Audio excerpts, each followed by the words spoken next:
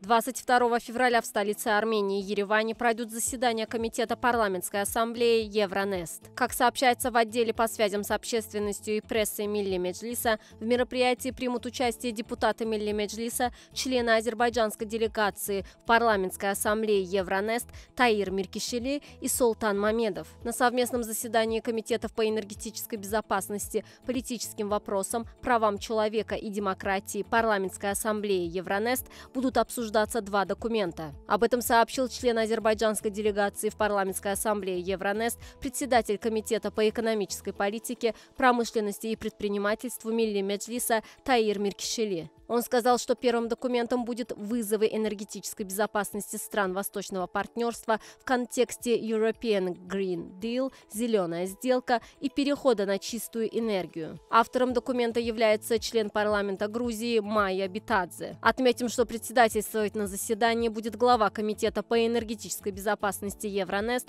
Таир Миркишели. Таир Миркишели отметил, что второй документ будет посвящен совершенствованию управления на основе политического диалога и институционального сотрудничества для повышения эффективности и административных ресурсов в общественных институтах.